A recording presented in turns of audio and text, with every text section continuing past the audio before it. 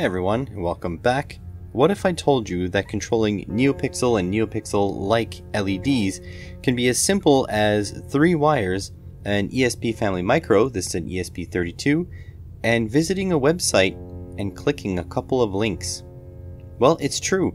The magic and the simplicity comes in way of the WLED project by Aircoookie.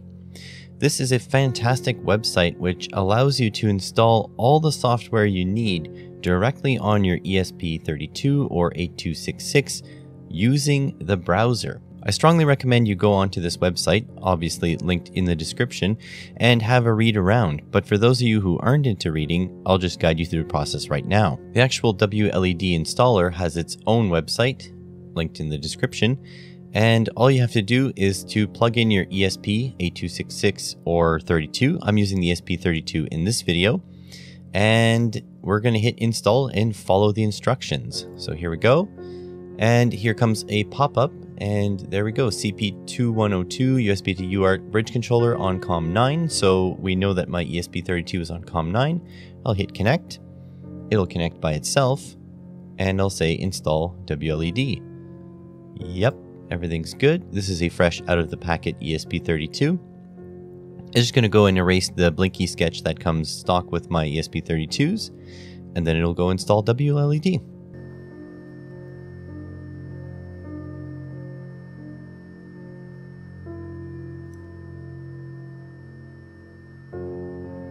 And installation is complete. Just follow the instructions. Now we need the Wi-Fi credentials. This is to control it over Wi-Fi. So just type in your credentials here.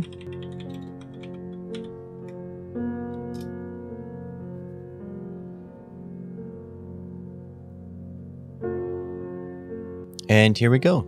Now all you have to click is visit the device and you'll be opened in a new tab with the IP of your new device. And so if PC mode is not clicked, it's going to look a little bit weird. So make sure you click PC mode and there we go. We have everything connected here.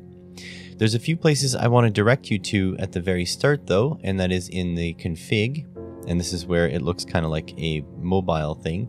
Um, you go LED preferences, um, and then you just scroll down here and you pick your type of WS2812 or whatever RGB LED you have, your color order, and how many in the matrix.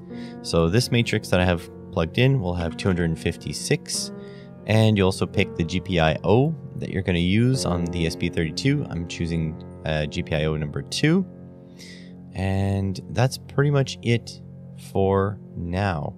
So I'm going to hit save and then your LEDs should light up orange.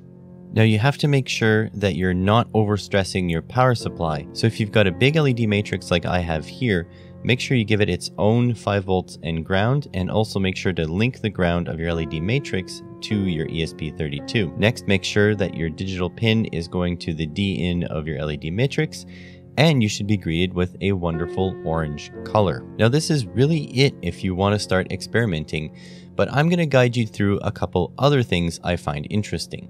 First and foremost, this list of pre-selected animations are pretty awesome. There's a couple that I prefer, like for example the rainbow animation really gives you a good idea of what the LED matrix can really do. With that, you can also move uh, the effect intensity and the effect speed to suit your purpose. Over here in the segment sec section, you can actually add segments or modify the one that you're actually using, uh, reverse the direction, mirror the effect, whatever you want. You can even rename it if you'd like. As well as there's a brightness slider all over on this side, which you can adjust the brightness in general. When you find something you like, like this rainbow preset, you can always hit the plus create preset, use current state, give it a name, and save it to an ID like so. And then you go and you find other presets you like. This one, for example, is pretty cool. And you hit create preset, give it a name, and so on. Once you have your preset set, you can set a playlist and you can set it up to whatever you would like. like so, but then you add your playlist entries.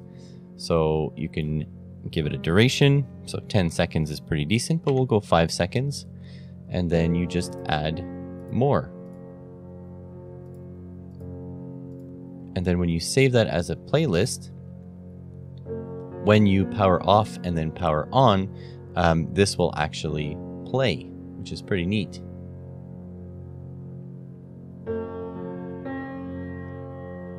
The other thing you can do is just set it to a solid color.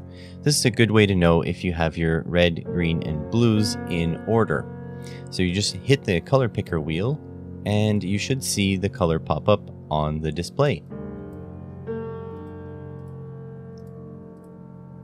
It's actually quite impressive how many colors you can get. And what's fun too is you can hit the R and get a random color.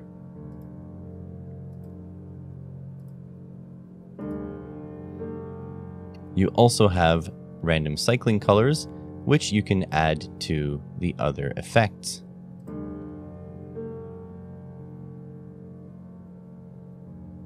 There's a couple other cool things too. You can actually add a little timer. So 60 minutes, uh, it'll actually dim and turn off after 60 minutes. And let's not forget, these exact same effects are available from your phone just by visiting this local IP up top. And so that's it really. It's really that simple. There's nothing else to say. Um, I hope that you have an ESP32 or 8266 laying around in your junk bin right now and you go out and try this terrific project. And I actually have a finished project that uses this, and that's why I wanted to introduce this project to you right now. And so I really hope this software brings you as much joy as it does me. Thanks for watching.